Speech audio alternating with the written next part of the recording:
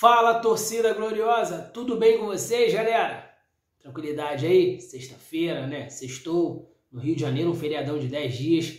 Galera, feriado, pessoal, é para ficar em casa, não é para vir para a região dos lagos, para viajar para casa do amigo ou curtir uma praia, não. É uma conscientização do Covid-19. Vamos colaborar, espero que vocês colaborem.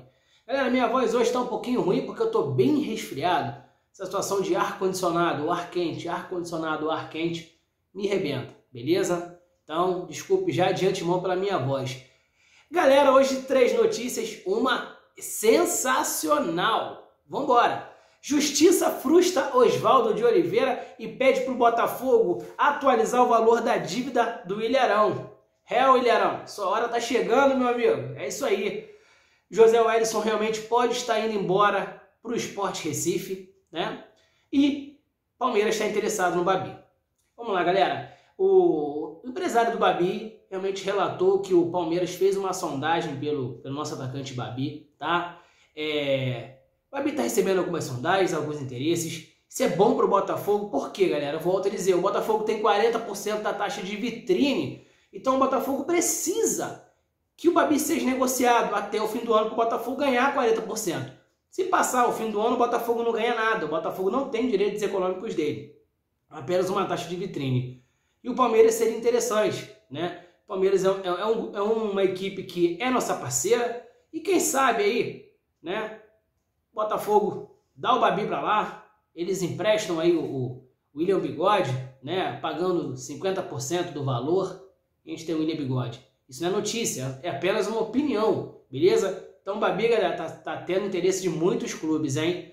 A outra é o José Wellison, o Sport Recife, o Jair Ventura quer porque quer contar com o José Wellison para o Campeonato Brasileiro da Série A. Né? É o estilo do, do Jair Ventura e do seu Sport Recife, né? Um monte de caçador no campo. Então, eu acho que, para mim, um abraço, pode ir, tá? Tá sendo útil o meio campo ali, mas para mim é só um destruidor de, de jogadas e mais nada. Então, é, os, realmente o José Wellison está sendo interessado pelo esporte, eu acho também que ele está querendo ir. Alguém vai se opor? Acho que não, né?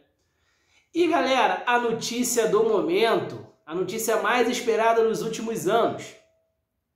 O juiz deu despacho para o Botafogo enviar uma planilha atualizada com débito do. O que, que é isso, Anderson? Ou seja, galera, é, vem ordem de pagamento em breve. Em breve esse dinheiro vai cair na conta do Botafogo. Anderson, Oswaldo de Oliveira tá com o olho nisso daí. É, mas nisso daí ele se frustrou, cara, que ele não vai conseguir tirar esse dinheiro do Botafogo.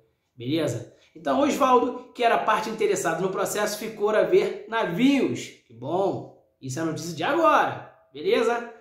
O Botafogo atualizando a planilha, galera, esse valor pode chegar até a 8 milhões de reais. Um bom dinheiro pro Botafogo esse ano. Tá precisando desse dinheiro, hein? Só que o Botafogo tem que mandar para os juízes pedir a ordem de pagamento. O Botafogo tem que atualizar a planilha, enviar para o juiz e o juiz fazer a ordem de pagamento.